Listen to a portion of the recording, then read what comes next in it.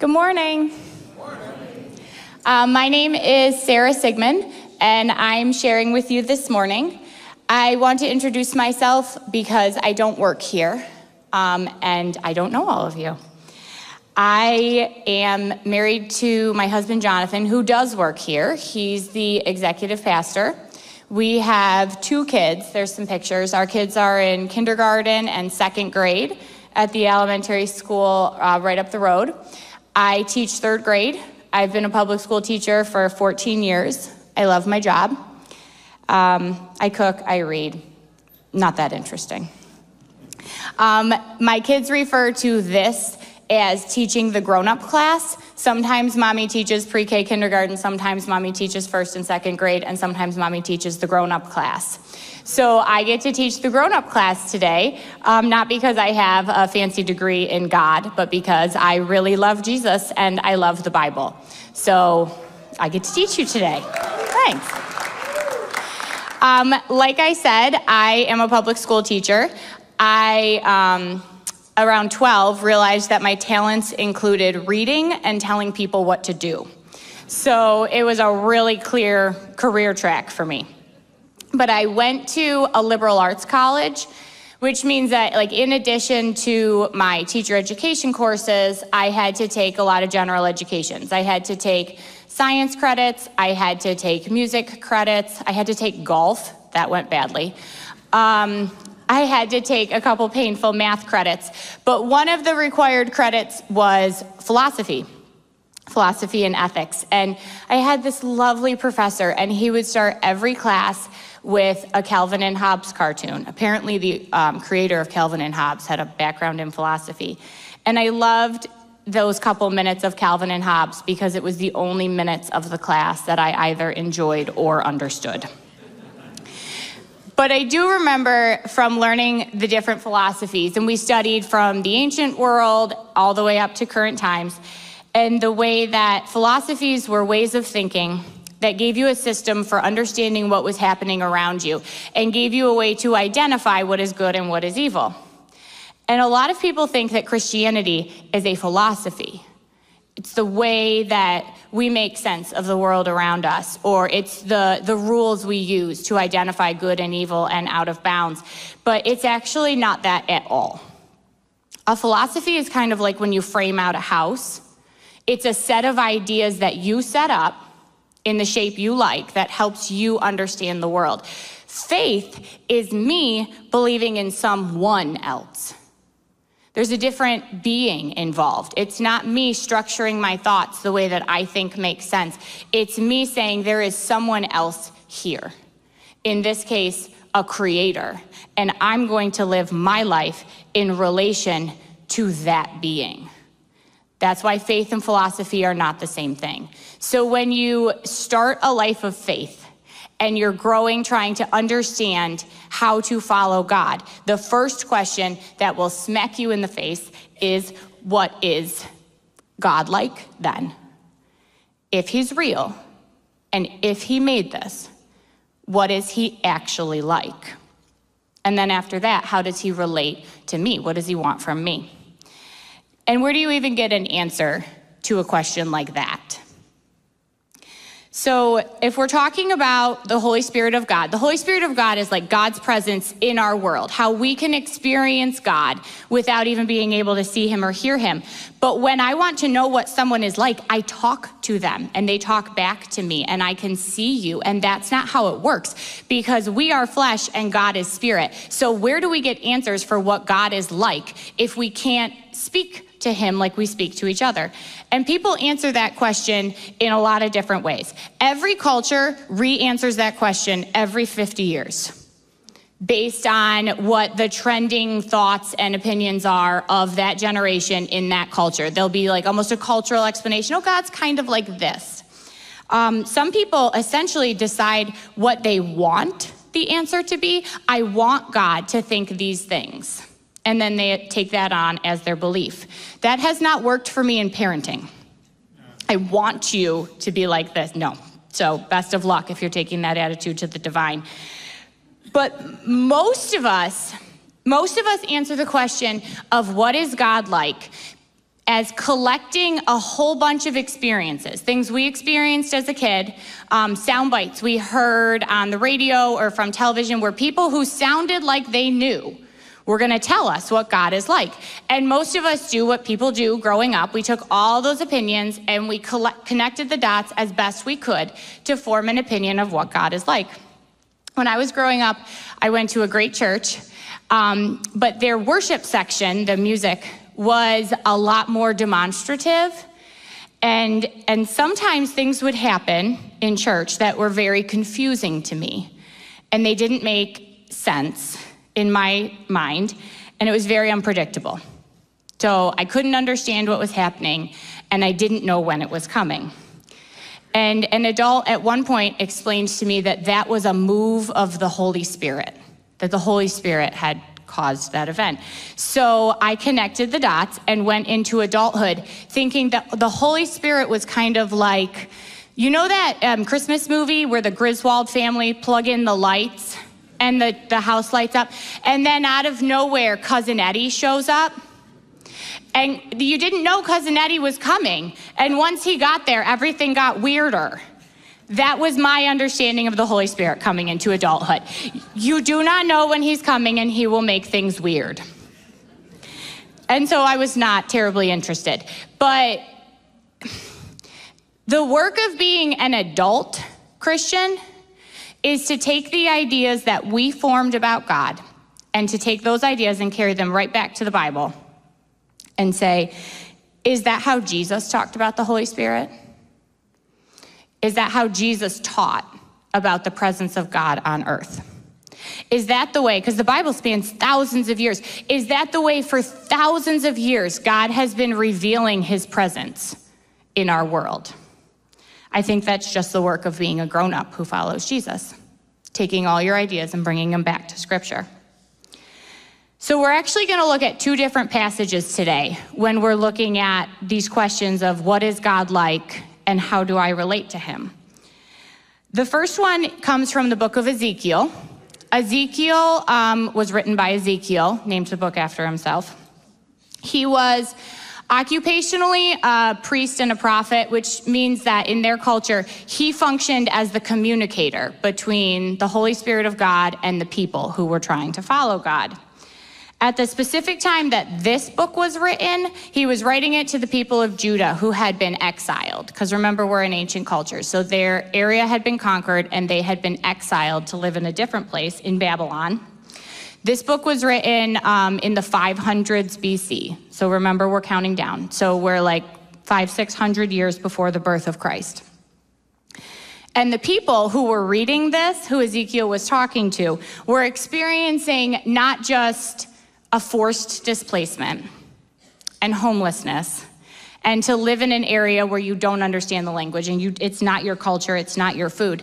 But in their lived experience, they believed that the presence of God was in the temple in Jerusalem. They thought that that's where the Holy Spirit was. So they thought that when they lost their temple, when they lost their home, they had lost the guiding Holy Spirit of God. But God, being Spirit, does not live in a church in Jerusalem and he was not stuck in the building. And he comes to them where they are in Babylon with this message through Ezekiel. Now, Ezekiel is recorded as um, a book of visions. And spiritual visions sound very mystical and freaky and woo woo, and they are not.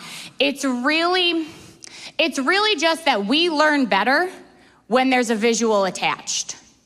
We hold better to concepts when there's a picture that goes with it. That's why your textbook companies included color pictures and diagrams. They did not want to pay for the color ink. They just knew that people would learn it better, remember it better, connect to it better when there's a visual. So a lot of the visions in the book of Ezekiel are visuals to help us understand who God is and what he was doing. So, what we're reading here, if you want to look in your Bible or your phone, it's up to you. It'll also be on the screen.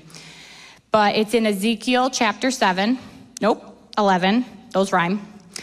It's in Ezekiel chapter 11, verses 16 to 20. Therefore say, Thus says the Lord. So this is God speaking. Though I removed them far off among the nations, and though I scattered them among the countries, yet I have been a sanctuary for them for a while in the countries where they have gone. Therefore say, Thus says the Lord, I will gather you from the peoples and assemble you out of the countries where you have been scattered, and I will give you the land of Israel. And when they come there, they will remove from it all its detestable things and all its abominations. And I will give them one heart, and a new spirit I will put within them. I will remove the heart of stone from their flesh and give them a heart of flesh, that they may walk in my statutes and keep my rules and obey them. And they shall be my people, and I will be their God. So when I go to a passage like that and I'm trying to pull out information about what God is like, I look at what God does. Because that's how we find out what someone is like. I could tell you, my friend Sue is so thoughtful. And you'd be like, isn't that nice? Or I could tell you about things she does. I could tell you that when my daughter had an ear infection and I was out of school for two days, and I went back in expecting chaos and piles of papers. I opened my classroom, and my friend Sue from down the hall had graded all of my students' papers for the last 48 hours, and they were stacked in neat piles on my reading table, and there was a bouquet of fresh flowers. And now you think Sue is thoughtful. Because we, we know who people are by what they do. Talk is cheap. So we go to a passage like this, and I pull out the, the verb phrases. What does God do? What does He say He does? And that's how I find out what He is like. Let me read you just the verb passages. I always do parts of speech when I speak. I apologize. Old habits die hard. Says the Lord God, that's in there because God speaks because he's not a set of ideas. He's an actual being and he speaks. These are his words. I scattered them. In the passage, he says he's the one who caused them to scatter. You know, this time in history came after essentially a rebellion period for the people of Judah, and they had not been following God. And this was, God allowed the natural consequence of their action.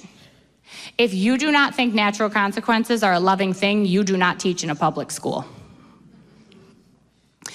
And then he says, I will be a sanctuary to them. That's one of my favorites. That's God saying, I will be a sanctuary to them. Sanctuary used to, like, you know, on the east side, the bird sanctuary that you can go visit, Wild Wings. It's a safe place, it's a protected place where the dangers are not able to hurt you. God is the sanctuary to them. That's what he says he is. So that's, that's who he is. This is all answering the question what is God like? It says, I will gather you and assemble you. That's the bringing together of people in a cultural crisis of loneliness. It's God saying that what he does is he brings people together and he assembles them and he gathers them. He says, I will give you the land, I will give them one heart. A new spirit I will put within them.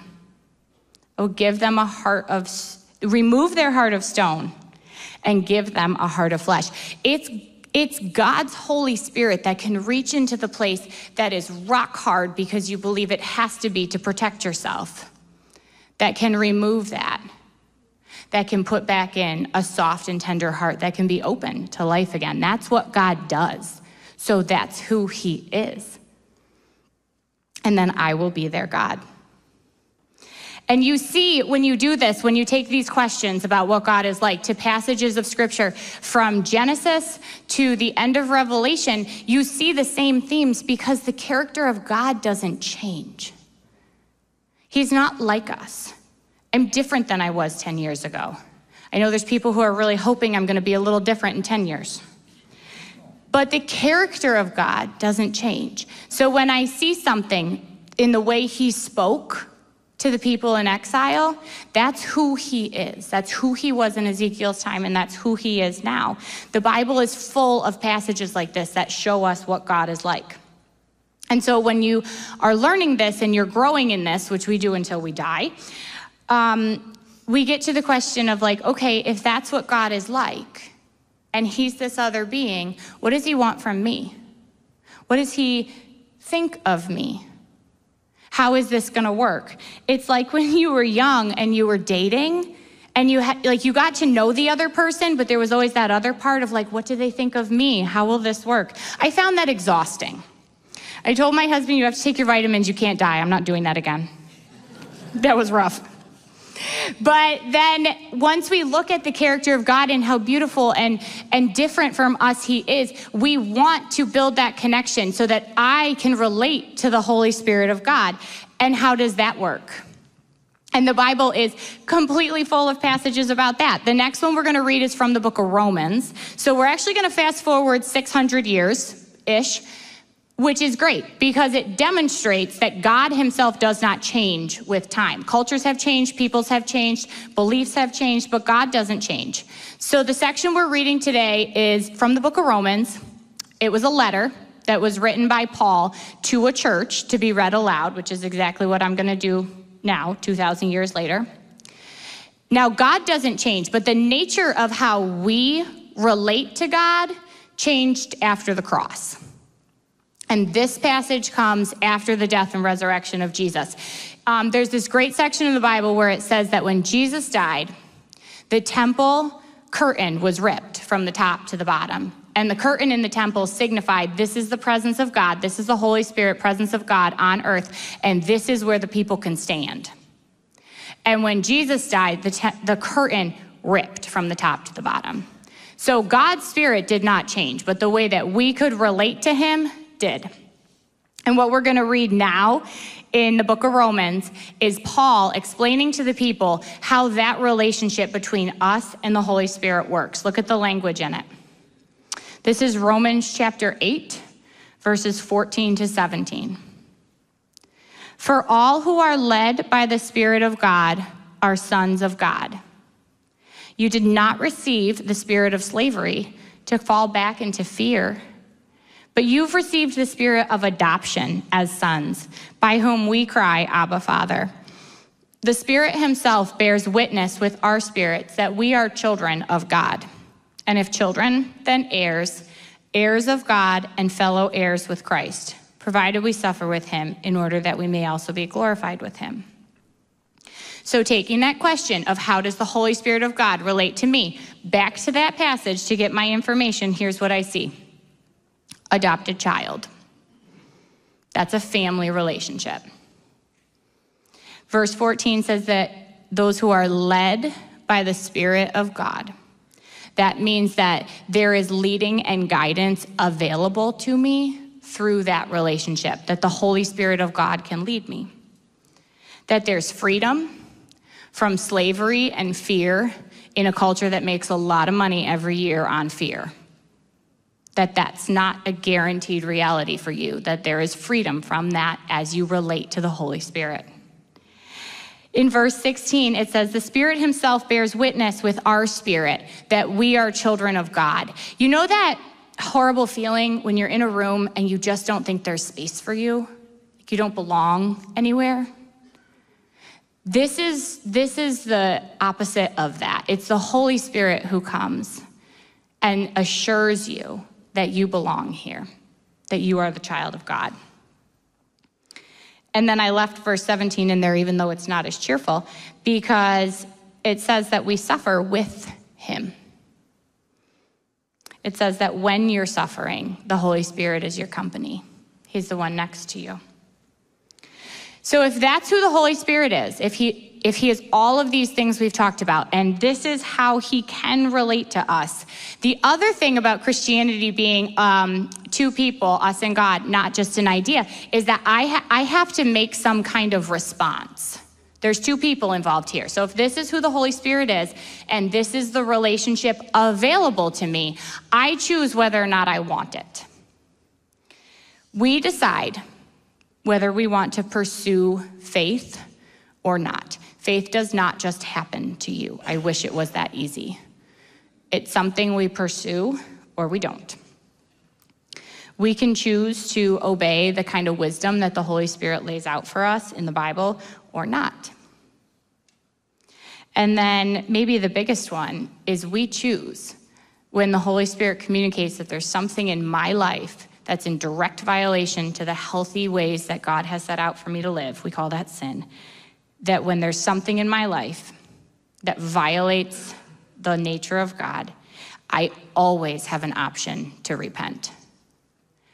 And it's the Holy Spirit who makes that available to me every moment of the day. It kind of all sums in this one verse in Mark. In Mark 1:15, it says the time is fulfilled and the kingdom of God is at hand. He's right here. Repent and believe in the gospel. And that's it. That's how we relate to the Holy Spirit of God. We admit the places that we are not healthy and we ask for another chance. And He always gives it to us because that's who He is. Now, when you read the Bible, you will recognize that to be to understand who the Holy Spirit is and to relate to him is not an experience that where the goal is okay then I won't have to really go through the suffering anymore. And, and to really read the Bible, you see that the Holy Spirit is not the dispenser of all the good things you want in life. This is not like having a spiritual bodyguard. Like, oh, if I'm close to the Holy Spirit, he'll block the really bad things. And it's not like a spiritual Santa Claus, where if I do a really good job, I can submit a list and maybe I'll get the top three things. Those ideas, I've heard them, but I've never found them in the Bible. What we have is the opportunity to relate to the actual Holy Spirit of God. When we are confused, when we are terrified, when it's the scariest moment, or when it's the most beautiful moment that you can't believe is your actual real life. That's what we have. We have the opportunity to relate to the Holy Spirit in all of that. So here's something for you to consider. If the Holy Spirit of God, his presence on this earth, is near, and if he can communicate with people, then the Holy Spirit of God can communicate with me. And he can communicate with you. So when I pray and when I read my Bible, in how does not have to be long, but when I read my Bible, when I pray, what I am doing is I am leaving open spaces for the Holy Spirit of God to communicate to me through what I'm reading in the Bible. Or I pray when I walk, when I'm outside. I leave those spaces for the Holy Spirit to communicate to my heart. I leave the spaces for Him to provide the guidance or the assurance that comes from Him. So I was in a meeting, I told you I teach third grade. I was in a meeting for one of my kids who is phenomenal and handsome and funny, and reading is not going well. So we had done a series of assessments, and we were all sitting together, the whole team, to analyze his errors and to try to figure out where is the greatest weakness that we can target with the best intervention to help him make the progress quickly. And in those meetings, I always try to sit next to the speech and language therapist because it has come to my attention 14 years in that they are usually the smartest person in the room. I don't know what they do in their undergrad or graduate programs, but they know things, the speech and language teachers, but they also tend to not be show offs. So you have to sit next to them to hear, hear all their good ideas. So I sit next to my SLP whenever we go to these meetings, and she said, I think that we should give this little boy a hearing assessment. And I said, Oh, no, Lori, he can hear me. And she said, Honey, everyone can hear you. That's not how we decide who gets a hearing assessment. she was like, Actually, when we looked at his data, he's dropping all of his word endings. He's dropping them when he talks, he's dropping them in his writing, and he's not um, reading them out loud. You know, the ED, ING, ES. And she said that. Um, when we put those suffixes on, when we put the word endings on, our voices uh, are at a different frequency and they're harder to hear. We speak the root of the word louder than we do the ending. And she was like, I just think we need to look to see if he can hear that frequency. And that um, made me think that that's a lot like hearing the Holy Spirit. It is on a different frequency. And when we learn to come to the Bible to get information, and when we learn to pray and listen, we learn over time to hear on that frequency, to hear the Holy Spirit of God speak to us and guide us and assure us. I'll give you an example of this. Remember, I said that um, people learn best through pictures. And so when we talk about visions, it's not woo woo, it's just pictures. And um, several years ago, I was struggling with the concept of the cross and the crucifixion. Because to me, it felt unnecessarily violent and cruel. What kind of God? And I brought it repeatedly in my prayer times. I brought that to my prayer times and just honestly told God how uncomfortable it made me and how much I didn't like that that was how He had chosen to save humanity, and how I kind of struggled to associate with a faith that was grounded in that kind of a moment. And one of those days, as I was praying, I saw like a quick picture in my mind, one second, and I understood immediately what the picture meant and that it was for me. And I imagined the inside of an operating room and a patient under um, the knife for an open heart surgery. And do you realize what a horrendously violent action an open heart surgery is? One human being cuts open another human being in the most vulnerable and crucial part of their body. And there's blood everywhere, and it's horrible and traumatic.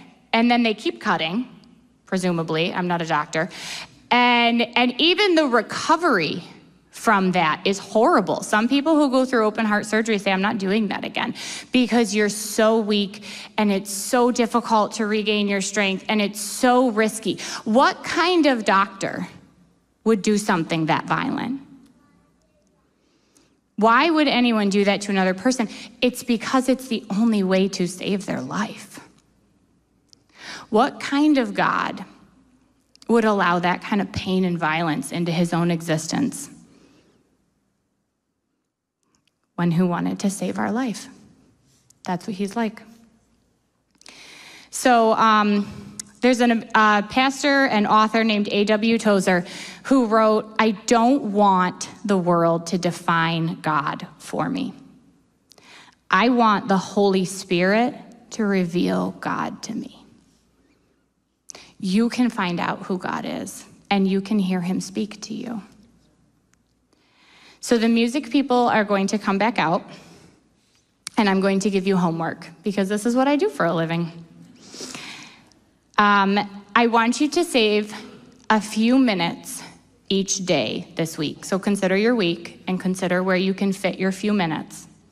A few minutes each day to build the kind of muscles and skills that will help you hear the Holy Spirit speak. So that's a couple minutes with your Bible, because that is often how He speaks to us. It's a couple minutes praying and listening so that you leave the space and you build the habits that allow the Holy Spirit of God to talk to you. And He can talk to you through the Bible, He can talk to you through nature, He can give you an image or a memory, He can talk to you through a friend. He's not limited the way we're limited. And I'm also going to give you time to start your homework because my eight year olds insist that's very helpful. So they're going to play quietly for a couple minutes, and here's my encouragement take the thing that bothers you the most right now, the thing that makes you sad or scared. Whatever your biggest emotion is right now, bring that and tell it to the Holy Spirit. Leave a little space and do that every day for a week so that you start to develop the kind of frequency because He really is that good and He really will talk to you. I'm not going to tell you what He's saying to you because He can tell you that for Himself.